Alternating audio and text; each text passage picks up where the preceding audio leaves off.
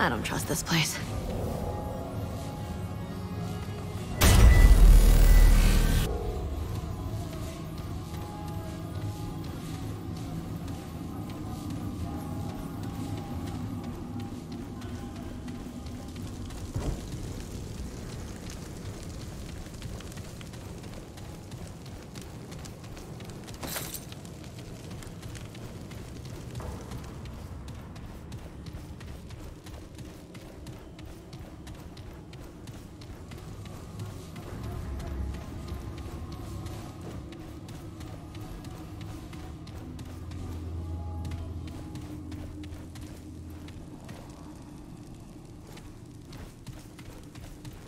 Greetings, petitioner, if that is what you are.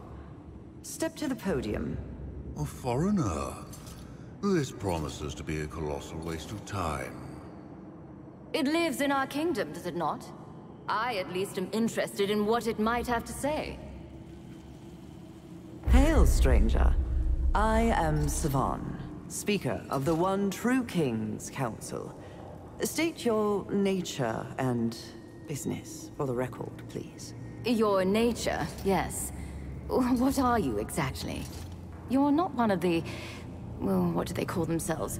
The Dran, are you?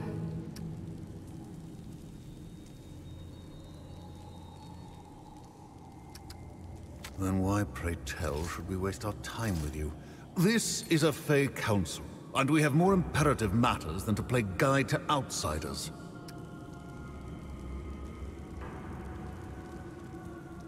Your friend is here. Now? How distressing. Perhaps we can help you find them. Perhaps not. Or have you forgotten the rather large problem yet undealt with, starting with what lies beyond this very door? I had not forgotten Onaril. But as we are at a standstill, I thought to turn our attention to something more refreshing for the time being. Sadly, our resources must be devoted to the troubles at hand, Nael. Petitioner, we will not help you at this time. Good day.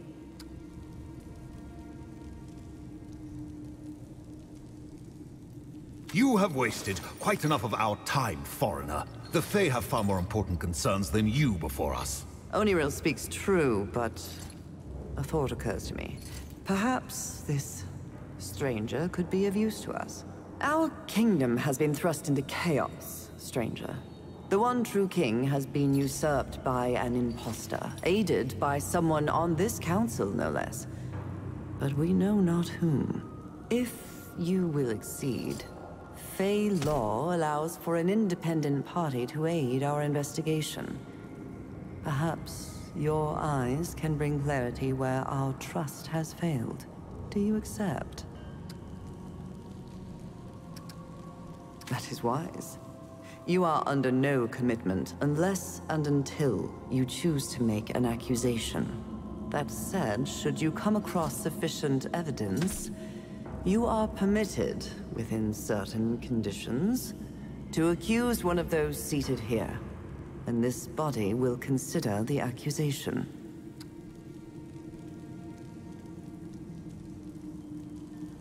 A great tragedy, stranger. For eons, the Fae and this council have faithfully served the one true king. But alas, his rule has been curtailed. The impostor, Faelin or Faerin or whatever they call themselves now, placed the king in an eternal slumber from which he cannot be woken. The king was attacked in his own chambers, behind this very door. The impostor could not have entered without aid from a member of this council. But, of course, we all have our alibis, as you can imagine. None of us were here. This has been proven many times. If you can find any evidence tying one of us to this tragedy or to the impostor, then Fae justice might be done.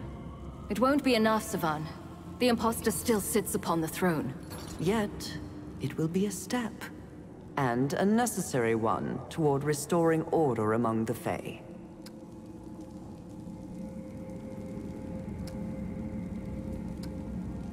It means you're not Fae, and your life is easily forfeit.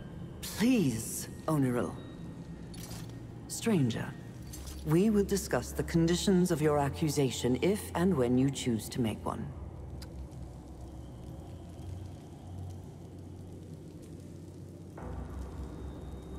We do not. This farce does nothing. Peace, Onoril. The law is clear on this point, as you well know. I will answer your question, stranger. With a traitor among us, trust has shattered. If any of us were to produce evidence at this stage, it would be suspect by all. And rightly so. Either of you would love any excuse to remove me from the Council. And you do not wish to hold half the Council's power yourself, Onariel? You cannot pretend it isn't true. Regardless, stranger, you are not from this world. Either of these worlds. So, any evidence you bring would be free from the suspicions which we have cast upon ourselves.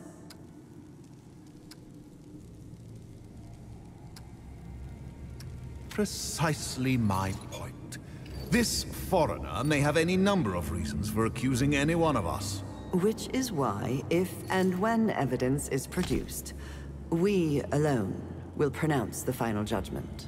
And if that evidence has been falsified, tainted, how do I know one of you has not paid this interloper to act on your behalf? Onariel, only you assume that everyone is as unscrupulous as yourself. Not everyone seeks power at any cost. Very well. I will judge it when I see it. I trust no one, but I trust the two of you less than this foreigner. We now know that the impostor approached each one of us at some point, whispering promises of freedom and power, trying to poison our minds against the one true king. He only said what we wanted to hear. A pity one of us listened. Can you blame them, though?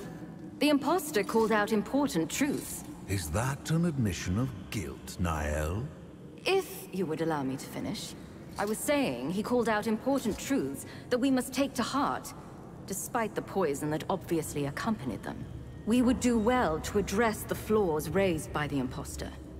And I find it difficult to cast blame on any who thought there might be a smoother path towards doing so. And yet that path has led to ruin. We have merely exchanged one tyrant for another. Indeed, but our feelings on the outcome are irrelevant. This council must be absolved of guilt if we are ever to restore order to the Fae.